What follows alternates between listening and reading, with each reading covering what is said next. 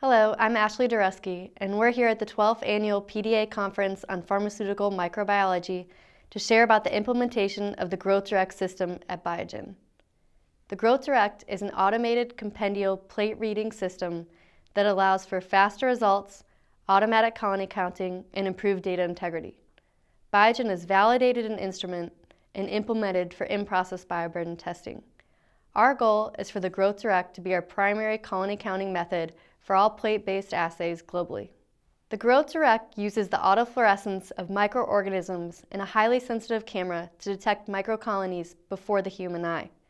You can load your samples and walk away, and it reads your plates every four hours. You can program it to notify you with an email if plates exceed limits. Incubation time is cut in half, and results can be migrated to your LIMS system. This also allows for improved data integrity, increased efficiency, and review by exception.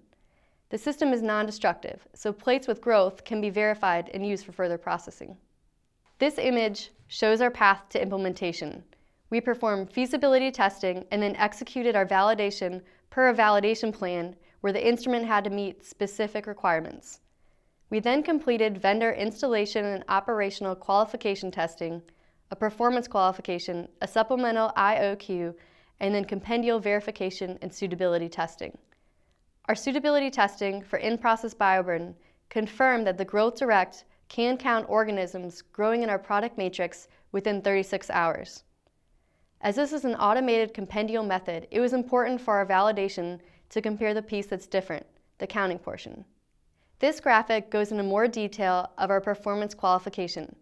We tested five pharmacopoeial organisms, five environmental organisms, and one mixed culture on three media cassette types, TSA and R2A bioburden cassettes, and the TSA EM cassette. We plated five replicates on each media type and incubated on the Growth Direct at 30 to 35 degrees C for 36 hours. The instrument counted the colonies every four hours and results were reported after 36 hours. The plates continued to incubate an additional 36 hours, then were visually counted by three different analysts to compare with the Growth Direct count. This graph compares the mean analyst count with the Growth Direct count, and as you can see, the results are highly correlated. This time to results graph shows the Growth Direct count every four hours for multiple species and replicates in the performance qualification. The Growth Direct began to count colonies in as little as 12 hours. USP Chapter 1223 states that in the implementation of enhanced methods for detection of colony growth, only the detection capability of the method requires verification. USP General Notices 6, Testing Practices and Procedures, states that automated and manual procedures employing the same basic chemistry are considered equivalent. This is also true for systems using the same basic microbiology, like a plate counting system that counts a CFU earlier than the human eye.